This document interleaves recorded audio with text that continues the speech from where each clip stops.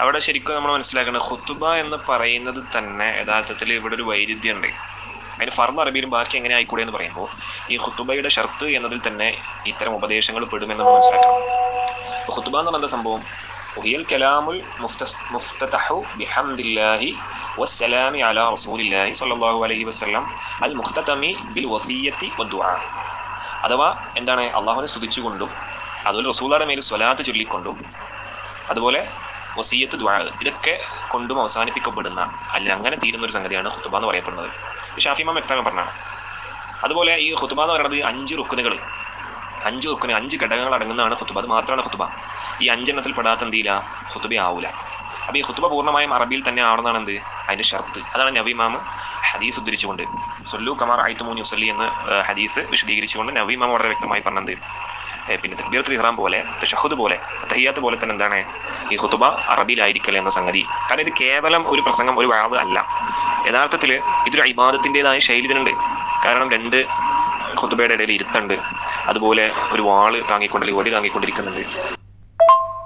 ഖുതുബ എന്ന് പറഞ്ഞു കഴിഞ്ഞാൽ ഈ അഞ്ച് റുക്കനുകൾ മാത്രം അടങ്ങിയ ഒരു അഭിബാധത്താണ് മനസ്സിലായില്ലേ? അപ്പോൾ പിന്നെ അവിടെ ചർച്ച വന്നതെന്ന് വെച്ച് കഴിഞ്ഞാൽ ഒളിമാക്കൾക്കിടയിൽ ഫുഖാക്കൾക്കിടയിൽ ചർച്ച വെച്ച് കഴിഞ്ഞാൽ അതായത് ഈ അർക്കാനുകൾ അതായത് ഹുത്തുബയിൽ പെടാത്ത എന്തെങ്കിലും ഇമാമ ജനങ്ങൾക്ക് ഉണർത്തിയാൽ അത് ഹുത്തുബയുടെ സുഹത്തിനെ ബാധിക്കുമോ?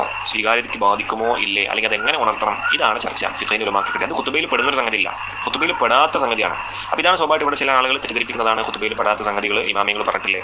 ചില പിന്നെ ഹംദും സ്വലാത്തും അങ്ങനെ കുറച്ച് സംഗതികൾ അറബിയിലാക്കിയിട്ട് മറ്റു ഭാഗങ്ങൾ ജനങ്ങൾക്ക് ഇഷ്ടമുള്ള ഭാഷയിൽ ഉത്ബോധിപ്പിക്കാം എന്നവർ തെറ്റിദ്ധരിപ്പിക്കുന്നതാണ്. മനസ്സിലായില്ലേ?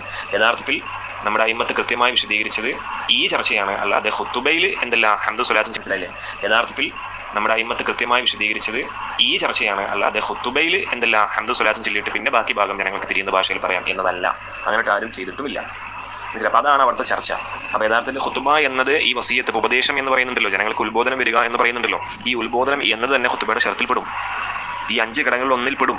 അപ്പൊ ആ ഘടകങ്ങൾ തന്നെ അറബിയിലായിരിക്കണം എന്നത് ഷർത്താണ്. പിന്നെ അതെങ്ങനെയാണ് അറബിയില്ലാത്ത ഭാഷ നടത്താൻ പറ്റാം? അപ്പൊ അതിൽ യാതൊരു ന്യായവുമില്ല. ഹുത്തുബ മൊത്തമായി തന്നെ അറബിയിൽ നടത്തൽ ഷർത്താണ്. അതിൽ തർക്കമില്ല. ഹുത്തുബയിൽ പെടാത്തൊരു വസീയത്ത് എന്നത് വൈരുദ്ധ്യമാണ് അങ്ങനെ സംഗതി ഇല്ല.